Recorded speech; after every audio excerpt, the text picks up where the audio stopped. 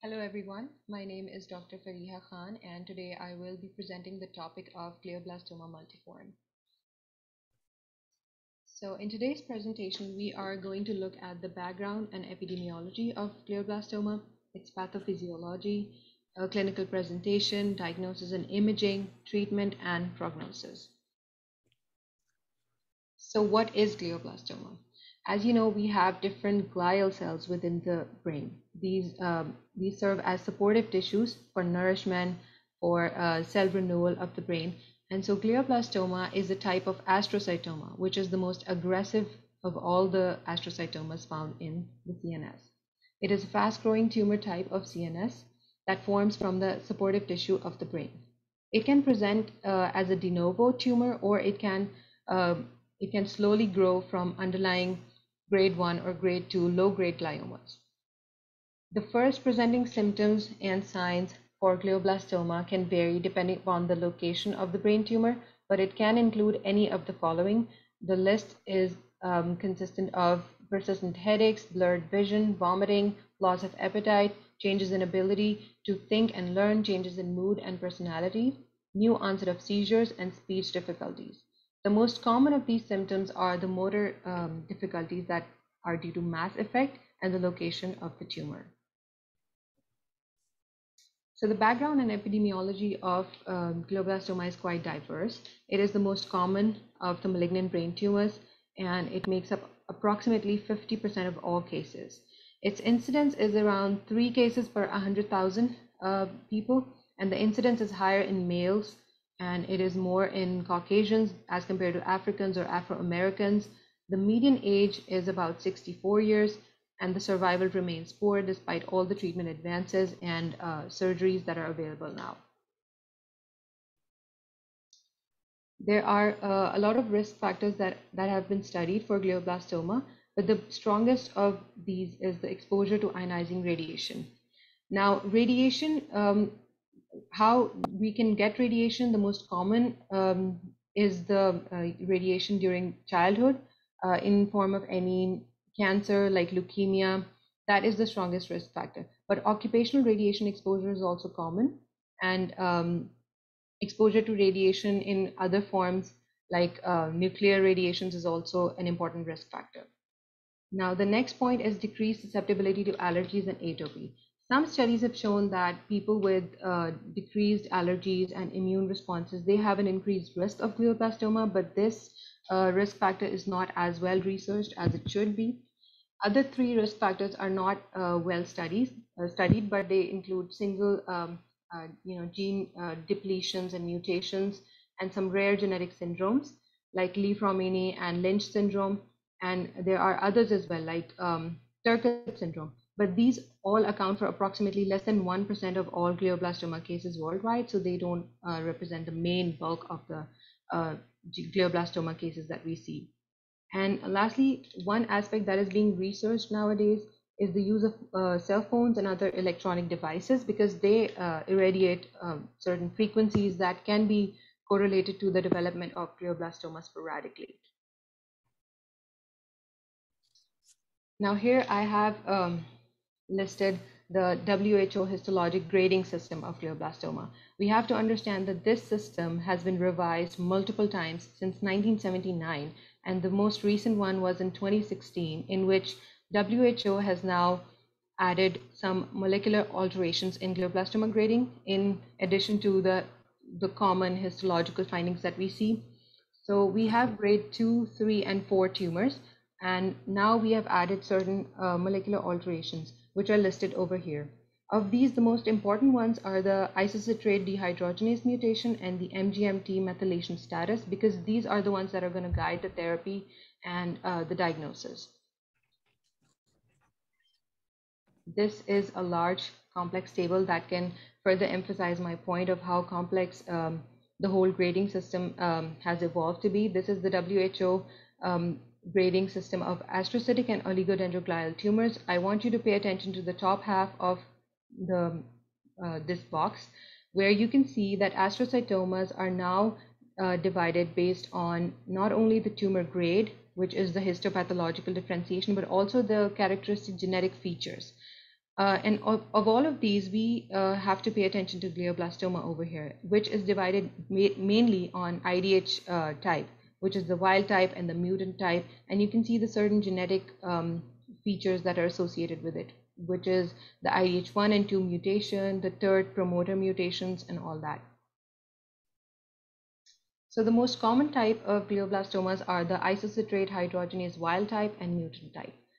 The isocitrate dehydrogenase wild-type glioblastoma is the most common primary malignant brain tumor in adults. Uh, histologic variants are present, and uh, these are giant, giant cell glioblastoma, gliosarcoma, and epithelioid glioblastoma.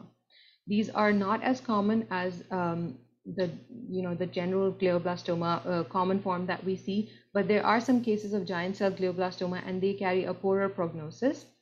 Whereas if you see the IDH mutant type, it is 10% um, of all the glioblastoma cases, and it is uh, this occurs in younger adults. The mean age is about 45 years of age. It has a more favorable prognosis, and actually the survival time is twice as long as the IDH wild type.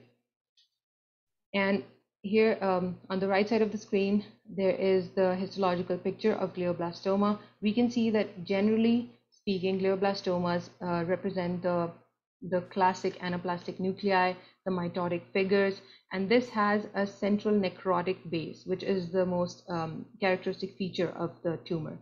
It is not a well circumscribed tumor, so it is more like a liquid mess. That's what I've heard, and that's what I've read about it. Um, the features are dense cellularity, uh, nuclear polymorphism, mitosis. I think all of this we've all studied before in medical school. But the major thing is that this is not a well circumscribed tumor mass. It is um, more of a um, proliferating type of tumor. Now the neuroimaging. So there are so many different um, modalities that have been invented in recent times, but we have to keep in mind that um, in many countries, CAT scan is the first imaging that is done uh, for any suspected brain lesion. But um, magnetic resonance imaging, MRI, that remains more sensitive than CT scan. And with MRI, actually, you can um, get different kind of sequences. So on the right side of the screen, I've inserted a picture where you can see there is a axial T1 weighted MRI that actually shows a left temporal edema in uh, picture A. And when you add uh, the gadolinium infusion, the, which is the contrast, you can actually see a ring enhancement and a proper uh, enhancement of the lesion on the um, in, on the brain.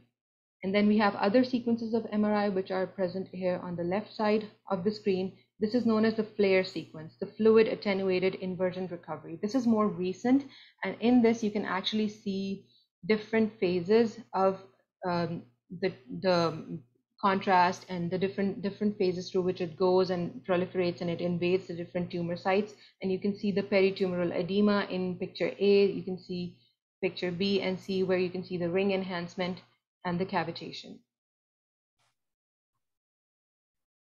So for diagnosis and treatment, this tumor is not confirmed until it is biopsied and it is histopathologically confirmed to be glioblastoma. So the first thing we have to keep in mind is that stereotactic biopsy is the mainstay of diagnosis for glioblastoma. But it is in contrast to open surgery, so we have to choose between the two. And the main um, choosing point, the main decision maker is the basic functional status of the patient, his age, uh, comorbidities, and uh, where the tumor is located. We'll talk more about in the next slide. So the preoperative planning includes um, another MRI modality, which is the functional MRI, which is an imaging uh, in which you activate certain speech and sensory function centers and motor function centers by stimuli, and that actually permits the separation of tumor from the normal brain and the surrounding edema preoperatively. There's another technique, diffusion tensor imaging, that is also uh, just like functional MRI, but it actually um, can visual may, help you visualize the relationship between the tumor and the uh, you know the white matter fiber tracts that are present in the brain. And on the right side of the screen, I've added two very important things for the supportive management: uh, steroids and anti-seizure drugs. Um, we have to um, we have to assess here that when the when the patient presents firstly to a physician with signs and symptoms that are uh, pointing towards a, uh, towards a brain lesion, we have to keep in mind that physical examination and neurological examination they are the mainstay because they're going to guide the urgency of neurosurgical um, intervention. So at that time, if the patient is not stabilized, we have to provide steroids to reduce the edema and the intracranial pressure. And if they have seizures, we have to treat them with levetiracetam. Every other imaging comes after this first intervention. So for surgery, because this is a tumor and mostly these tumors have a mass effect on the brain and that is um, showing in the form of um, you know physical symptoms. So we have to do surgery first on the tumor. Now the surgery is based on two things uh, whether the tumor is resectable or not. So uh, that is that that decision is made based on all the imaging techniques. Now if this uh, if the tumor is deep seated or if there are multifocal tumors then we can use some computerized imaging and stereotactic devices, and those can help in uh, performing deep brain biopsies in which you can actually locate the tumor, you can get a biopsy and get the histopathological evaluation done, and you can confirm glioblastoma. Now, um, in this, uh, you know, stereotactic biopsy, PET scan and magnetic resonance spectroscopy, these are the mainstay for identifying the metabolic active areas uh, of the tumor. So if, for example, the tumor is present in the brain stem, which is quite rare for glioblastoma, you can actually use PET scan or MRS, and then you can see which areas of the brain are metabolically active for the tumor growth, and you can get a biopsy from there. But if the tumor is present in a more resectable uh, place, say it is present in the mm, frontal lobe or the temporal lobe, we can go with maximal safe resection. That is the mainstay of treatment of the initial treatment for newly diagnosed glioblastoma in adults because that has been shown to extend the survival of the patient and also um, it has been um, linked to better outcomes of glioblastoma. But we have to keep in mind that maximal safe resection should be done with preservation of neurologic function. We have to prevent collateral damage to the brain. And so the important initial goal um, for us is that uh, in patients with high-grade glioblastoma, the extent of surgery, it must be balanced with the preservation of neurologic functions. Now, here I wanted to add some intraoperative techniques that are being used by neurosurgeons all around the world now. These were not uh, present um, a few years back when things were evolving. The imaging modalities were not as good as they are right now.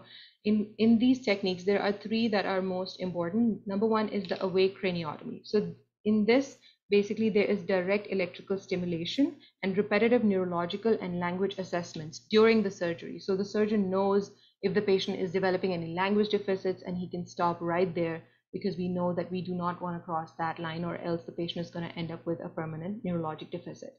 And then you have intraoperative MRI, which is to guide the resection in real time. So as the surgeon is operating, you get MRI scans, and then you can see where the tumor is located, how, how far you can go, and when you have to stop.